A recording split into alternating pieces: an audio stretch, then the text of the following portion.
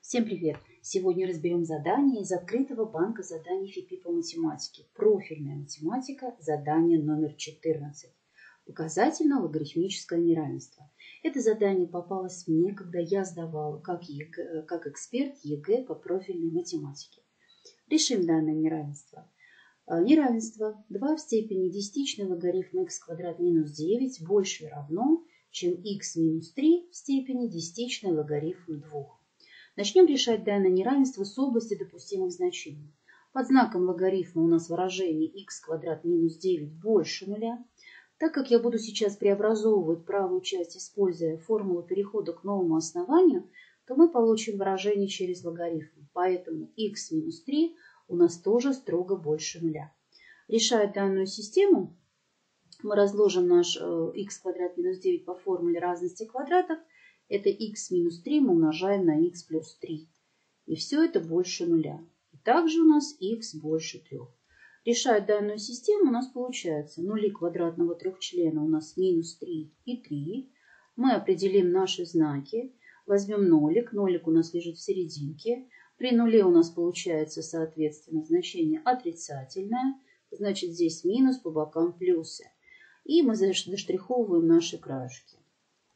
Решением второго неравенства у нас промежуток от 3 до плюс бесконечности.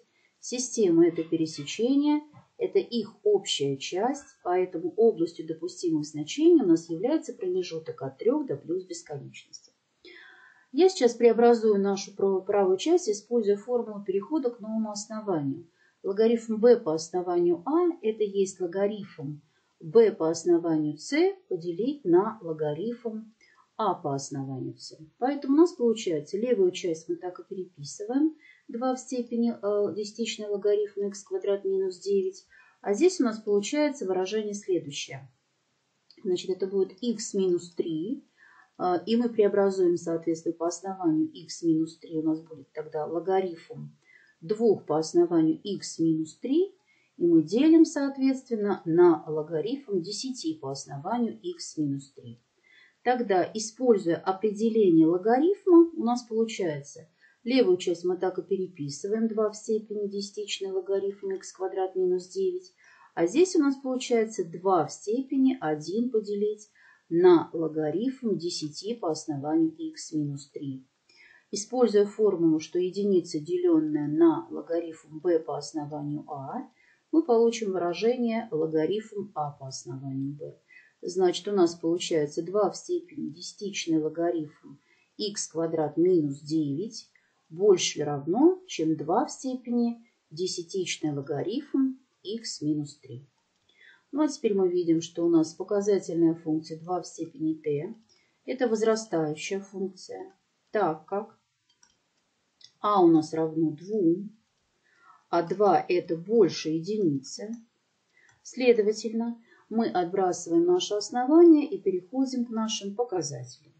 При этом знак неравенства мы не меняем, так как у нас основание больше единицы. У нас получается десятичный логарифм х квадрат минус 9 больше или равно, чем десятичный логарифм х минус 3. То есть мы теперь пришли уже к логарифмическому неравенству. Тогда наша функция десятичный логарифм m – это функция, которая возрастающая, так как наше основание равно числу 10, а это больше единицы, значит, отбрасывая логарифмы, то есть потенцируя, мы знак неравенства не меняем. У нас получается, что х квадрат минус 9 больше и равно, чем х минус 3. Переносим все в одну сторону, это будет х квадрат минус х минус 9 плюс 3, это будет минус 6 больше или равное нуля. Ну и перед нами получилось простейшее квадратичное неравенство – мы найдем нули квадратного трехчлена. Дискриминант равен единице плюс 24. Это будет 25. х1 равен 1 плюс 5 и поделить на 2. Это будет 3. А х2, соответственно, это 1 минус 5 и поделить на 2. Это будет минус 2. Чертим координатную прямую, подписали ось.